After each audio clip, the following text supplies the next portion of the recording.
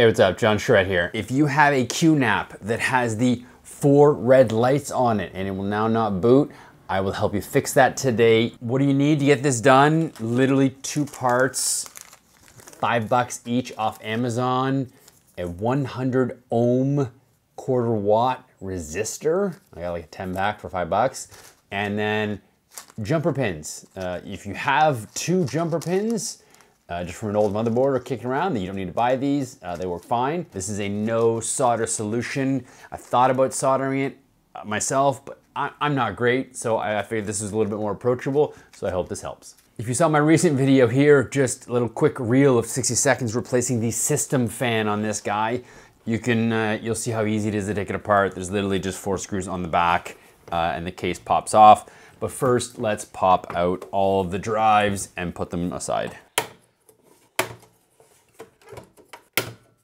All right, next, four screws. Flip it onto the motherboard side. And then slide, there you go, back and then off. Cool, top's off. Looks like there's four screws on each side. So just to be clear, there's kind of four screws. You want to take out the smaller set here, not, not these ones here, but the, the smaller set, and it's on the same on both sides. And then there's like two more here just on top of the system fan. Pop those out and it should just come right off.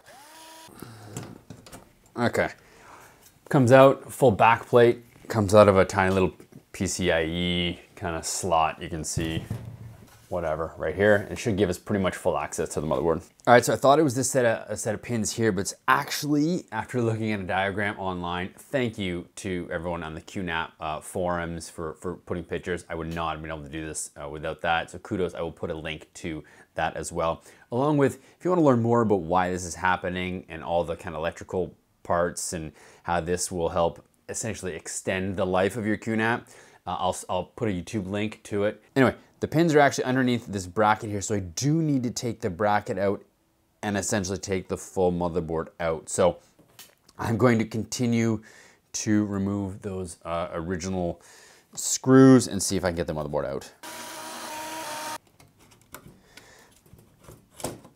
Ha! Okay, so once you take those, those four screws out on, on the edge here, you can lift up from the backside and everything does slide out. I still need to disconnect the motherboard from the chassis here somehow, but it looks like I'll need to take out the system fan. System fan's super easy. There's literally four screws on the back here and one and one plug. Cool. System fan, four pin connector, just pull comes right out. Easy peasy. There's that Noctua fan that I installed uh, in my short. Okay, four screws, one in each corner. Okay. And the motherboard slides out. You can see the uh, two sticks of DDR3, what are they? They're two four gig sticks, upgraded to eight, eight gigs of RAM, uh, this, this Ripjaw here. So that's great. So now I can see that it's actually underneath this, this pin here, this is the set of pins and you can tell it's the right one because it has nine pins, the other one has eight. Okay, I readjusted the camera so that this, this side here camera can, can see really nice and close here. What's important is that we know which pins to connect it to. It actually goes pin one through nine, and it's actually pin one and eight that we want to use. Uh, if this here is one on this corner, then it goes two, three, four, five, six, seven, eight. So it's actually the, the last pin before it has the, the blank. So it should be beside the blank. Here's uh, one of the, oh, there you go. Yeah, you can see the resistor like I say, it's 100 ohm. They had a quarter watt and a half watt. I just looked through, I didn't know the difference between the two. I looked through the comments. Someone else on Amazon had said that they used the quarter watt to fix this exact problem. So I went with quarter watt. So the idea with the jumper pins is that one side will go over the actual pin here. And then the other side, you'll put in a leg of this inside, which will connect them, connect them together. So let's say I put this in like that. I don't know if you can see that, nice and tight. And then the other side will go on here. Ta-da, that's pretty much it. I'm going to shorten it uh, so it goes like this. and then you put the other one on the other side. Uh, just due to that height, I'm going to clip it uh, so it fits uh, so it fits better. So this is there and there. So I actually use it, and I kind of filled this gap here.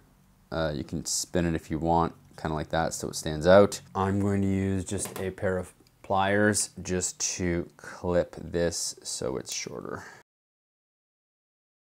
So regarding height, just see how short I made it. You can just see it almost touching the top here.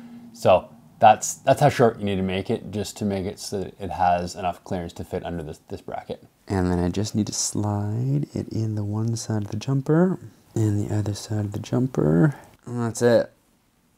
One end is on the pin and the other is in, in the resistor peg. And then on that eighth pin, and it's in there snug enough. I feel like they're connected. Uh, and it looks like it's low enough so that when I put everything back together, it should be, should be, should be fine. Okay, I've reconnected the top down shot. You can see here uh, where it, it's together. If you did want to solder this, same idea. Just, I mean, literally just solder those two points together, uh, of course, without touching any of the other pins. Yeah, and that is it. Um, we need to reverse the process, put it all back together, and try it out. Okay, let's get some power and see if this works. Here we go. It's actually a good sign because before it would start up automatically as soon as I plugged it in. Let's see. Power. Oh, I'm seeing green lights. I'm seeing green light. I, I'm still amazed. Thank you to everybody, like say on the forums and YouTube. How long, this took maybe 10 minutes. Uh, 10 $10 worth of parts hopefully you were able to follow along and do the same and extend the life. Like I say, I'm still going to shop for a new one, but I want to figure out how to get the data off here. If you have any recommendations for a QNAP, right now, what, uh, what month? It's July 2024. I'm looking for something maybe six bay, a little bigger in the $1,000 US range leave a comment down below. Let me know if you did this and it worked for you. Let me know if you have a suggestion on, on a brand new one, whether QNAP, Synology, uh, Ugreen has a new unit. Uh, what about a, a Zima Cube? I, I've been, I've been looking at all of them. Please let me know what you think. Thank you very much for watching and I'll see you on the next one.